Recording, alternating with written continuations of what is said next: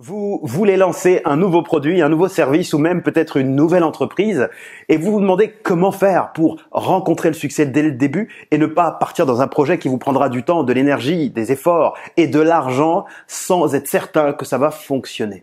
Et la question que vous vous posez, c'est comment faire une étude de marché simple, profitable c'est la question à laquelle nous allons répondre dans cette vidéo. Bonjour, je suis Zico Kiax, entrepreneur, auteur de formation best-seller et fondateur de Kiax Academy.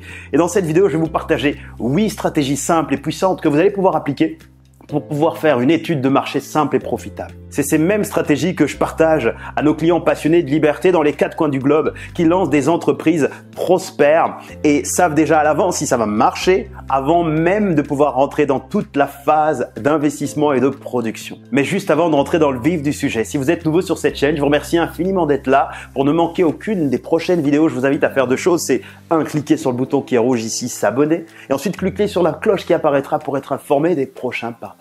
Si vous voulez lancer votre produit, votre service ou même votre entreprise et que vous voulez être certain de pouvoir rencontrer votre marché avant partir dans tous les efforts financiers en termes de production, en termes de temps, eh bien, ces huit stratégies vont vraiment vous concerner. Ce que je veux que vous puissiez comprendre, c'est ceci. La plupart des enseignements traditionnels qui parlent de création d'entreprise, d'études de marché, vous envoient dans une direction qui n'est pas la bonne, qui n'est pas faite pour vous. Elle a fonctionné tout un temps, mais aujourd'hui, elle est souvent réservée aux entreprises qui ont des tailles très importantes, des euh, géants de l'industrie, qui sont euh, les grandes multinationales ou les grands groupes ou les entreprises qui ont parfois un budget beaucoup plus important, peut-être un financier derrière, un investisseur, un business angel, pour pouvoir appuyer leur investissement pour les études de marché. Il suffit de voir que certaines études de marché vous demandent du temps, beaucoup d'efforts, des finances pour pouvoir récolter les données et ensuite, avant de construire votre produit ou service, il y a un temps énorme qui passe. Ce sont trop de barrières à l'entrée qui vous empêchent, vous passionnés de liberté, d'aider vos meilleurs clients. Ce que vous devez réaliser, c'est qu'au moment même où vous prendriez trop de temps pour réaliser ces études de marché, il y a des gens, des clients, des passionnés qui ont besoin de vos services, de vos produits, de ce que vous pouvez faire pour eux. Et en changeant leur vie et leur business, vous pouvez transformer votre business, votre entreprise. Rentrons maintenant dans ces huit stratégies que je veux vous partager pour vous aider concrètement ici à réaliser ces études de marché simples et profitables. Première stratégie, identifier une douleur, une difficulté qu'un groupe de personnes rencontre actuellement et que vous pourriez aider, que vous pourriez solutionner. Donc c'est la première stratégie, c'est euh, le fameux quoi. La grande question c'est le quoi. Quelle est cette douleur? Sachez que aucune entreprise ne peut réussir si elle ne solutionne pas une douleur, si elle ne solutionne pas une grande difficulté ou si elle n'apporte pas un plaisir, une vraie transformation ultra, ultra passionnée et passionnante pour un client. Donc c'est vraiment l'élément fondamental sur lequel vous devez euh, vraiment vous asseoir. Vous prenez par exemple un marché et vous dites sur ce marché-là quelle est la douleur et la difficulté que rencontre ce client et qui justement l'empêche d'aller à une situation désirée. Il est dans une difficulté, il veut aller dans un point. Donc j'identifie clairement cette première douleur. C'est le premier élément, le quoi. Ensuite, deuxième élément, c'est le qui. Le qui, là, maintenant, je vous invite à identifier le groupe de personnes. Ce groupe de personnes qui justement rencontre cette douleur. La première étape, c'était identifier la douleur, une douleur que rencontre un groupe de personnes. Vous étiez d'abord dans la douleur. Maintenant, vous avez trouvé cette douleur, vous allez plus en détail vous dites qui rencontre cette douleur.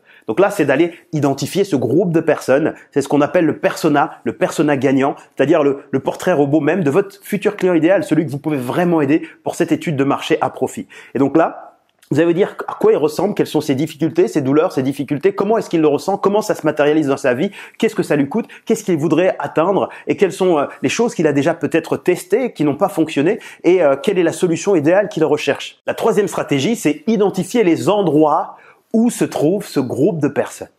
Il y a des endroits où ce groupe de personnes existe déjà et pour être certain que votre projet, votre entreprise, votre offre, votre business va fonctionner, il faut savoir que ce groupe de personnes est déjà quelque part. Donc il faut identifier l'endroit où il est. Et pour ça, aujourd'hui, à l'heure des réseaux sociaux, vous pouvez très simplement utiliser des outils qui vous montrent avec précision combien de personnes, quel est le groupe de personnes qui se trouvent dans telle catégorie, où ils sont. Vous allez sur Internet, vous n'avez même pas besoin de sortir de chez vous comme on avait besoin de le faire dans le temps. Vous pouvez par exemple utiliser la régie publicitaire de Google pour savoir est-ce qu'il y a déjà euh, des personnes qui sont en train aujourd'hui de proposer des produits ou des services à ce client idéal? Si vous allez par exemple sur Google et que vous tapez un mot-clé spécifique qu'un de vos clients pourrait inscrire et rechercher, eh bien, vous aurez des résultats. Et le fait d'obtenir des résultats et de voir qu'il y a même des annonceurs, c'est-à-dire d'autres entreprises qui investissent de la publicité pour s'adresser aux mêmes clients, est un bon signe. C'est-à-dire qu'il y a déjà des endroits qui se trouvent à cet endroit-là. Vous pouvez également aller sur les réseaux sociaux, par exemple, comme Facebook, et d'aller identifier dans ce qu'on appelle, par exemple, les audiences, les idées d'audience. C'est une partie dans Facebook. Il y a évidemment plusieurs vidéos qu'on tournera sur le sujet pour aller plus en détail, mais pour savoir quel est le volume de personnes qui s'intéressent à tel euh, type d'entreprise, tel type de produit, tel type de service, tel type d'offre, qui vous donnera évidemment un bel indicateur de savoir où sont vos clients. Ils peuvent également être à des endroits physiques, ils peuvent être dans des salons ou à des endroits spécifiques, et grâce à la puissance d'Internet, vous pouvez comme ça identifier ici où sont, où sont les endroits où se trouvent vos futurs clients. Ensuite, la quatrième étape, c'est identifier la taille et le volume de ce groupe de personnes. C'est intéressant évidemment de savoir qu'ils existent, de savoir qu'ils sont quelque part, mais si jamais le nombre est trop petit et trop restreint, cela veut dire que pour vous, sera compliqué de développer un business déjà pérenne dans la durée, mais en plus, vous ne pourrez pas aider énormément de personnes. Donc là, ça veut dire que soit vous avez vraiment été trop spécifique, vous n'avez choisi qu'une seule personne sur le marché, et là je vous invite à regarder un groupe de personnes pour élargir par exemple. Quelles sont les autres personnes qui rencontrent cette même douleur? Ils sont peut-être sur des marchés euh, peut-être différents, mais il y a une intersection que l'on peut créer parce qu'ils rencontrent exactement cette même douleur, et là c'est en faisant un travail de réflexion, de recherche, de reconsidérer votre angle, votre approche pour ce deuxième point qu'on avait vu tout à l'heure, identifier ce groupe de personnes et trouver un volume suffisamment intéressant pour pouvoir être rentable. Vous pouvez également donc aller sur des outils comme le moteur de recherche de Google pour simplement taper quelques mots-clés, voir les volumes de recherche qui sont ici, qui apparaissent pour ces recherches-là, pour ces requêtes-là. Et vous pouvez le faire également sur différentes plateformes pour pouvoir justement savoir si ces personnes-là sont en groupe assez suffisant pour pouvoir leur apporter de la valeur ajoutée et d'être généreusement en retour et de développer surtout un business pérenne. Ensuite, la cinquième stratégie, c'est d'identifier la solution idéale qu'ils désirent et puis celle dont ils ont besoin. Parce qu'il y a une différence entre ce qu'ils désirent et ce dont ils ont besoin. Vous, vous savez, parce que vous savez, vous avez cette expertise, ce dont ils ont besoin, mais peut-être qu'ils ne savent pas encore. Par contre, ils désirent différentes choses. Vous pouvez les attirer sur ce qu'ils désirent pour leur offrir ensuite ce dont ils ont besoin. Et donc, pour vous, il est essentiel de savoir ce dont ils, euh, ce qu'ils désirent en analysant les promesses, par exemple, de vos confrères sur les autres sites internet, toutes les personnes qui leur parlent déjà aujourd'hui, quelles sont les promesses qu'ils font, qu'est-ce qu'ils achètent déjà, qu'est-ce qui les intéresse pour vraiment bien comprendre qu'il y a déjà aujourd'hui, au moment où vous faites cette étude de marché, un mouvement financier entre de la valeur que l'on échange contre de l'argent aujourd'hui par vos futurs clients. Et votre objectif, évidemment, ce sera d'apporter de la valeur plus importante encore que celle qui est fournie aujourd'hui par les autres personnes sur votre marché pour les attirer. Et c'est ça qui vous aidera à faire cette belle étude de marché réussie.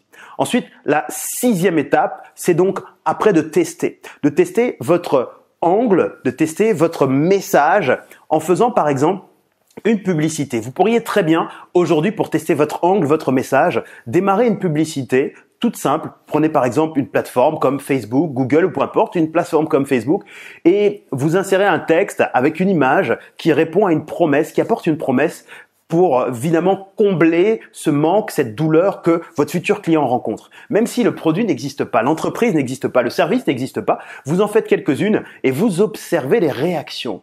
Est-ce que votre client idéal, le marché idéal réagit déjà à cette campagne? Vous pouvez investir un budget très petit, très restreint, de quelques dizaines d'euros, quelques centaines d'euros, pas plus, pour simplement savoir est-ce que ce message résonne sur cette audience-là? Ça vous permettra de pouvoir valider avant même de pouvoir tout créer, même si après vous ne délivrez rien, mais au moins vous avez compris qu'il y a quelque chose d'intéressant à faire. Vous pouvez également le faire dans la vraie vie si vous n'investissez pas de budget publicitaire. Vous rendre par exemple dans un endroit où il y a des clients potentiels qui pourraient être des clients à vous et simplement discuter de ce principe de sentir si cette solution existait, est-ce que c'est quelque chose qui crée de l'intérêt chez eux? C'est ce que ça leur donne envie de se dire ah bah oui, si cette solution existait, oui, je serais euh, la première personne à venir devant vous et à dire comment pouvoir me la procurer. Ça c'est un signe très important pour comprendre qu'il y a un vrai intérêt. Lorsque vous avez fait ce test en sixième point, le septième point, c'est donc cette fois-ci de tester votre produit, votre solution. Une fois que vous avez validez la sixième étape, donc c'est-à-dire qu'il y a une belle réaction.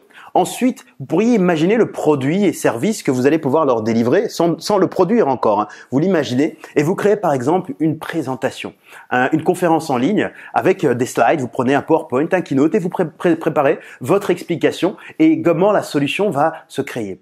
Et vous la, vous l'organisez, vous investissez un peu de publicité pour inviter différentes personnes ou alors vous investissez si vous avez déjà euh, une audience hein, sur les réseaux sociaux ou une, une base de liste de contacts email, vous les invitez à cette atelier digital, cette conférence en ligne, et vous leur partagez. Et à la fin, vous leur faites une proposition. Et s'ils sont intéressés, vous leur dites que euh, vous leur livrerez à partir d'une date ultérieure plus tard. Et pour ça, pour cette attente, ils auront donc droit à un avantage réel et à un avantage fort. Et vous voyez comme ça, rien que dans cette présentation-là, s'il y a une vraie réaction positive. Si vous obtenez déjà des oui, donc des futurs clients qui sont prêts à acheter, à profiter de cette réduction et cet avantage, avant même d'avoir commencé à construire votre produit, votre service, avant d'avoir investi dans tout le reste, vous avez une étude de marché qui est validée, qui se confirme. Et quand vous avez terminé cette septième étape, enfin dans la huitième, vous pouvez passer à la phase de production, à la phase d'investissement, à la phase, à la phase de création. Vous savez que votre concept est fort, il fonctionne, il a été testé, l'étude de marché a donné d'excellents retours et les clients attendent, le message est prêt. Vous pouvez donc ensuite, si vous avez besoin d'investir, par exemple pour engager du personnel, à distance dans un premier temps pour externaliser certaines tâches, pour aller plus vite, vous pouvez le faire à ce moment-là. Vous avez donc ici le voyant qui est au vert. Vous pouvez également à ce moment-là Commencez à produire votre contenu, apporter la meilleure valeur ajoutée pour pouvoir ensuite reproduire ce même schéma, mais cette fois-ci, ce ne sera pas un test, mais ce sera dans le réel. Voilà, nous avons vu ensemble huit stratégies puissantes pour vous aider à construire une étude de marché. La première, c'est tout d'abord identifier une douleur qui existe chez un groupe de personnes, c'est le fameux quoi. Ensuite, identifier ce groupe de personnes, plus particulièrement le fameux qui. Après, lorsque vous avez identifié ce groupe de personnes, identifiez les endroits où se trouve ce groupe de personnes, c'est le fameux où. Et lorsque vous avez identifié les différents endroits, identifiez la taille et le volume qui existe pour ce groupe de personnes, c'est le fameux combien. En cinquième point, vous identifiez la solution idéale qu'ils désirent et ce dont ils ont besoin que vous allez pouvoir leur délivrer, c'est le fameux quoi. Et puis la stratégie numéro 6, c'est de tester votre message, votre angle. Et puis la solution numéro 7, c'est de tester votre présentation. Et puis la solution numéro 8, c'est de valider, passer à l'étape de validation, de tout produire, de tout créer, de tout investir, réinvestir pour pouvoir présenter votre produit. Et en suivant ces 8 étapes, vous pourrez valider votre étude de marché. Vous aurez quelque chose de puissant entre les mains et vous aurez surtout travaillé dans la bonne séquence sans disperser votre temps, votre, énergie sur des projets qui ne fonctionnent pas. Vous allez aider plus de clients et vous allez transformer votre propre vie. Et si vous voulez savoir comment nous faisons en interne pour pouvoir construire notre marketing, nos communications, faire nos études de marché et lancer des projets importants qui permettent de convertir de parfaits inconnus en clients haut de gamme, eh bien je vous invite à découvrir un atelier digital, une conférence en ligne dans, lequel, dans laquelle je vais vous montrer notre système simplifié de business, notre modèle de business simplifié que nos clients utilisent pour transformer des visiteurs en clients haut de gamme en moins d'une semaine. L'invitation est ici, le i comme info, ou dans la description, c'est une invitation qui est offerte. Il suffira simplement de pouvoir choisir la prochaine session euh, pour laquelle vous pourrez participer, remplir votre email et vous pourrez y accéder depuis le confort de votre ordinateur. Voilà, si vous avez apprécié cette vidéo, dites-le moi avec un gros pouce comme ça vers le haut. Laissez-moi au bas de cette vidéo en commentaire ce que vous avez trouvé de plus pertinent dans cette vidéo. J'aurai beaucoup de plaisir à vous lire. Posez-moi également une question au bas de cette vidéo. Je pourrai y répondre soit juste ici en bas ou je tournerai une autre vidéo spécialement pour y répondre. Je vous remercie infiniment mes passionnés de liberté pour votre amitié. Pensez à vous abonner si c'est pas encore fait. Le bouton il est là, rouge, s'abonner. Laissez-moi un gros pouce vers le haut comme ça au bas de cette vidéo. Je vous donne rendez-vous dans un prochain partage. C'était Zico Kiax. À très vite. Merci.